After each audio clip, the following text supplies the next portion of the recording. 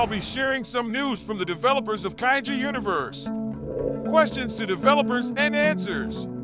Will y'all have to change the models a bit or some? No, we don't actually need Godzilla to run a game. You know, we did that in Italy because the community liked it. We will try and talk to Toho. If they want a partnership, we don't mind. But if they don't, we have our own stuff that we came up with. It's in concept art stage.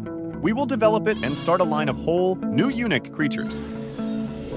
People fail to understand that this studio is making money off of concepts and work that technically isn't theirs, hence the DMCA. I don't know, it's such a big deal.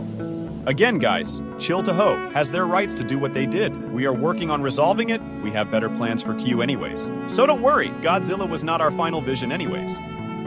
What Sarah probably means here is that if things don't work out, the Kaiju universe will return with its original models. Farron and his team are probably in the testing phase. I think KU will be back again soon.